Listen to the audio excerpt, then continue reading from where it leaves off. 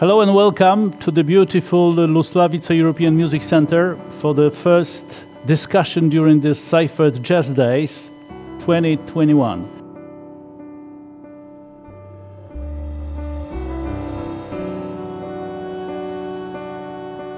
The violin in jazz gets a little attention, you know, mainly because there's only so few musicians who delved into it. I mean, probably a lot less than, let's say, saxophone or something like that, you know. And uh, it needed somebody like Zbigniew and Michael. They, they it, the music called for it. Mm. And uh, if I was sitting there and I saw of situation, I'd say, well, guys, we're playing like this. Of course, no talking, but, you know, just vibing. Uh, we play like this, play like that. But we haven't put anything like that on the violin because you look at Stuff Smith, Charlie, uh, Charlie, who's, who's, who's, a couple of violin, jazz violins. Um, who played swing mostly, mm. and, and, of course bebop. But uh,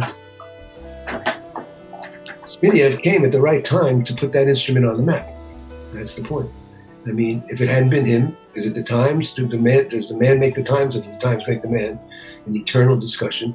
Uh, but in this case, I think um, there was a call and a need for the violin to be played in a modern way, mm. which is what Zbigniew definitely did on the instrument. So when we hear him play and solo, some of the records with Jack and with Richie and all that, of course, he has the best band in the world there.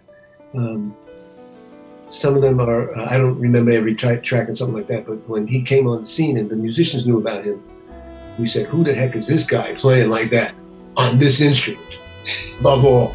it was a, you know, like a, a, quandary. It was like a why. But of course, the way he played just obliterated any other comments and just listen to the guy.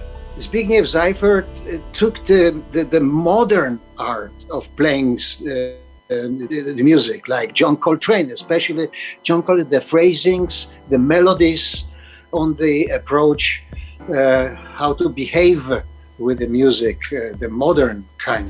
Uh, and Zbigniew Seifert is like extensions of, uh, of um, John Coltrane's thinking, of life, musical life. His most uh, uh, most characteristic album, reflective of his style, was Man of the Light. He uh, did something nobody did before, before him as a violin. He played a solo violin concert, and that solo violin record was uh, released to support him when he was uh, that it was found out that he was uh, suffering of cancer. That musicians label uh, run by Wolfgang, Wolfgang Dauner did this.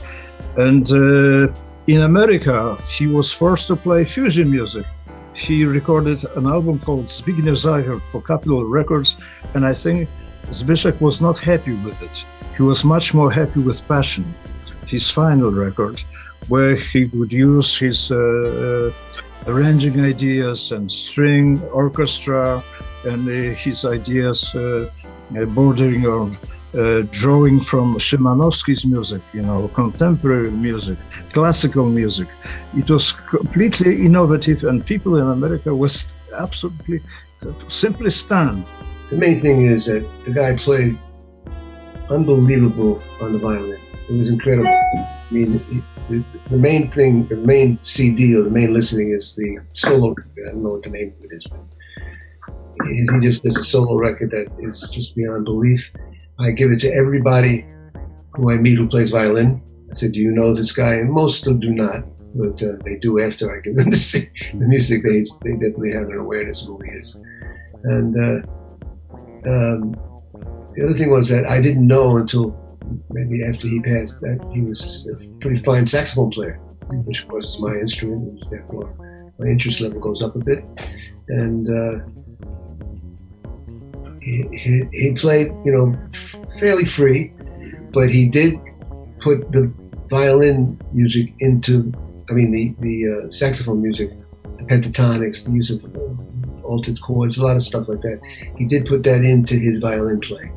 So he was a pretty broad musician who could do a lot of things from, uh, you know, beautiful ballads, intense, um, beautiful and inspiring, mostly inspiring. I mean, the guy was really something else. If he had been alive, if still alive, he would have been very productive. He was obviously a serious artist who took to his responsibilities uh, deeply.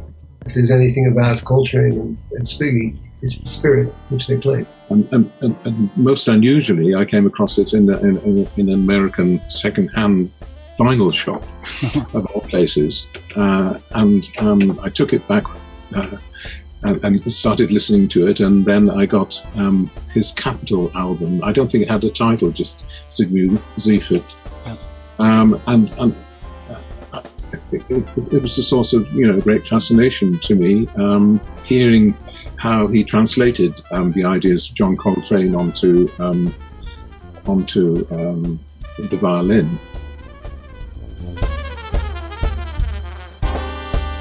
I actually wanted to sort of uh, mention this because you know obviously uh, listening to Astigmatic again, you know it's amazing how much uh, Komeda drops out completely. You know he does his solos, he takes his time, he, he uses all his different methods and techniques and ideas, and then drops away. But then the intensity of the band is such that I mean. You know, perhaps uh, Dave can tell us a bit more about um, his time with Miles. You know, in the same way that the sheer presence of someone like Miles or Komeda could could make you play a certain way, you know.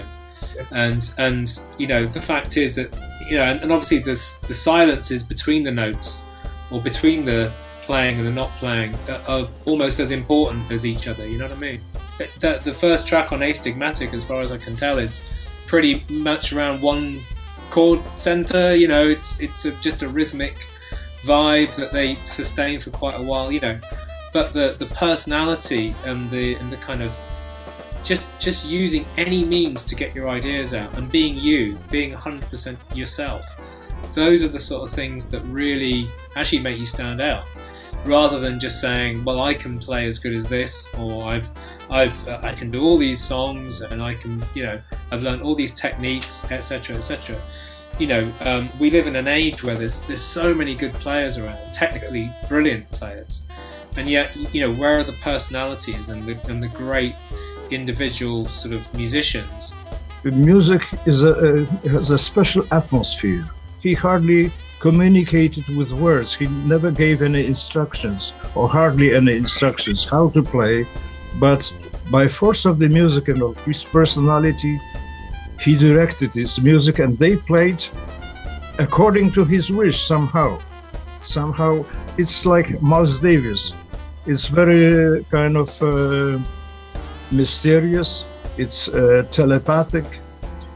It's uh, the, the, the, force, uh, the, the, the, the waves that are going from the leader to the sideman.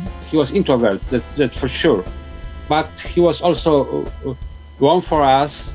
Uh, he was he was caring about us. This is very colorful and full of meanings, full of, of colors, of impressions. Uh, and this is really unique uh, in, in, in, in Komeda's music. His uh, approach to um, to the to the harmonical um, uh, structures and uh, also rhythmical and the form structures is so unique unique that i have to really when i play his music concentrate very much, as it's very melodic but unusual. It's um, something something in this music which I uh, never heard playing like um, music by John Coltrane, Charlie Parker, whatever, all kind uh, other uh, musicians, Wayne Shorter. Um, uh, this feeling that means that Komeda had had something, something, something else. I I think the interesting thing with Komeda is obviously he was a composer as well as a, a, fine instrumentalist, and so the first thing I, the first sort of impact it had on me was was much more modest, was maybe just hearing his uh, music for Rosemary's Baby, you know, and uh, experiencing that soundtrack, you know, to this day, you know, if I think of that film, I just that music just sends sort of tingles up my spine. It was so kind of you know, it's it's pretty creepy. It's very atmospheric, um, and then really going back to listening to Astigmatic, you know, this week has been, yeah, it's been a wonderful experience actually because. Uh, you know, this this as as many have said, this is a landmark album. You know, this is a landmark album in jazz, and it basically was really a, a you know a completely European vision of jazz. And uh, you know, as, as, Dave was rightly pointing out, the passion with which these guys were playing, I mean, kind of really independent of the kind of the New York, the heart of it, maybe in New York back in the day. You know, they they were creating this stuff for themselves, and the passion and the kind of drive and the energy that's just pouring out there. You know, Stanko just tearing the daylights out of his trumpet. You know, it's like that's extraordinary, and you just think, well, you know, where did that come from? And obviously, you know, in the climate they were in, the repressed regime they were living under, you know, the, the fact that they came out with this stuff with such, you know, originality and such sort of forceful personalities, it really, you know, it, it stands the test of time. You know, it, it, you know, it is timeless. It's timeless music. And I think jazz community lives with this, uh, with the this the legend, the myth of Komeda ever since. And as time goes by, the music is growing stronger and stronger and stronger. You know, I think Komeda, you know, obviously the fact people are still covering his music now, still, you know, creating albums and tributes to him, the fact we're talking about him and others like him just shows that, you know, that forceful personality and that strength of personality endures over many, many years, you know. Um, and I guess because sadly they did, you know, die young, then then that legend becomes fixed. From my perspective, from my point of view, I would say that uh, Komeda and Zbigniew Seifert were very individual artists. Um, uh, Krzysztof Komeda was a very strong and very original composer um, concerning songs concerning melodies, that the, the compositions he did, did for the film scores of Roman Polanski and other um, uh, Polish filmmakers. Um, uh, he was a master of um, stretching of stretch forms. So the, the pieces on Astigmatic, for example, I think about 20 minutes and more. So, and it, it's always surprising. It's coherent and it's surprising at the same time.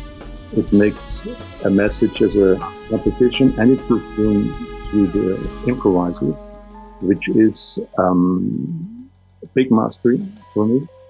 Um, and, and, in terms of Komeda, you know, he clearly had a very, very promising career ahead of him. Uh, to, to have broken into Hollywood and to be, you know, working on major film soundtracks and, and clearly having a, you know, surrounding himself with the best musicians as well. I mean, you know that you know the guy obviously just had a, a, lifetime of of creativity and music ahead of him and it was cut you know terribly short you know. May they rest in peace Komeda and Spiggy yeah yeah. They made a great contribution to the world to the music to the music of the world